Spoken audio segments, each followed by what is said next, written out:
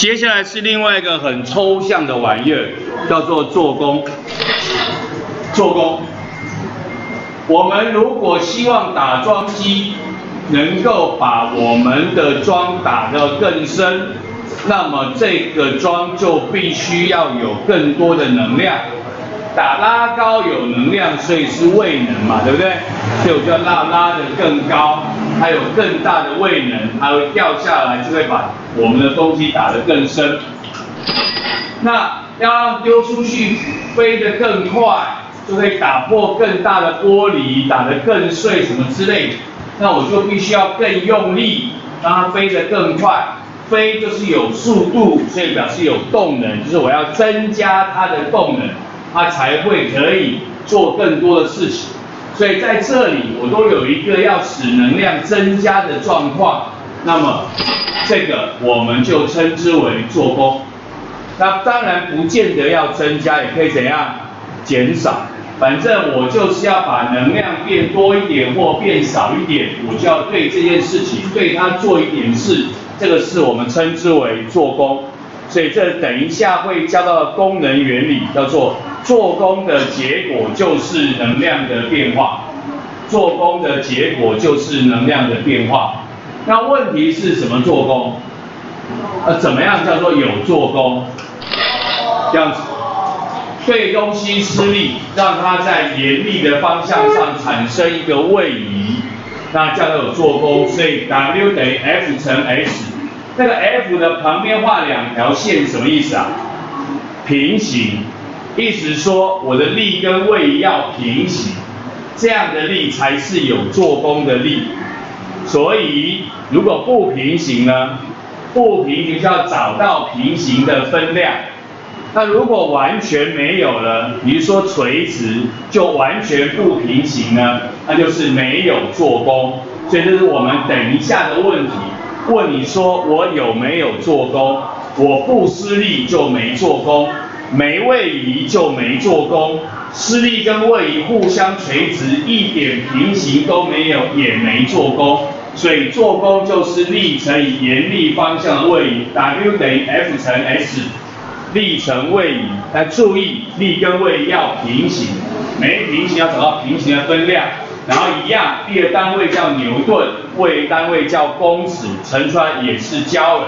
因为做功就是能量的变化。所以它的单位是一样的，就是我们做功的方法，OK？力量乘位移。那么像这样的图形上，左手边对东西推，让它往右边跑，所以向右边施力，有一个向右的位移，那么这样就是有做功，有做功。右手边那个图有个球，我施力往上拉，施力有向上，位移也向上，那么这样就是也是有做功，它们互相有平行有做功。那么老师如果说右边的图不是往上拉，是往下放呢？那等一下会教所谓的正功跟负功，所以有一个是能量会增加，有的能量会减少，这等一下要教的功能原理会提到。反正这两个图基本上都平行，所以都做功。所以力跟位要平行，它才会做功。不平行要找到平行的分量，完全没有平行量就是不做功。不做功，不平行要找到平行的。但如果垂直，它就找不到平行的量，那就没做功，就没有做功。这是我们一种问题，后面会问你，后面会问你。这样的情况有做功还是没有做功？好，那这样子刚刚讲的提到了所谓正功跟负功，如果力量跟位移同方向，正正是得正，负负也会得正，所以这时候叫做做正功。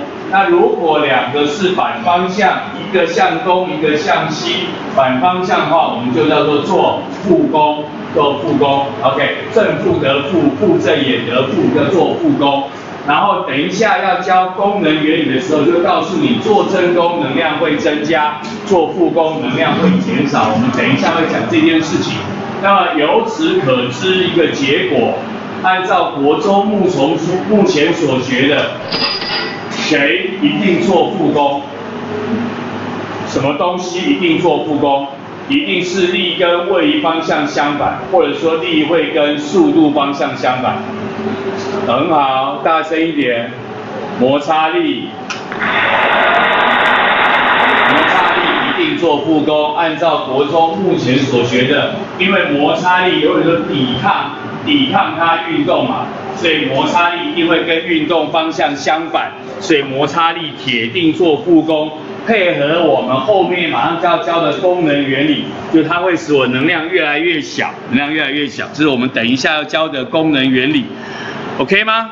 跟各位介绍什么叫做功，公式背起来，W 等于 F 乘。S 力量乘位移，同方向叫做做正功，反方向叫做做负功。看到公式之后，等一下会出现的第一种问题就是这个有没有做功？要有力，要有位移，而且两个要有平行，这样才叫做有做功，OK 吗？OK。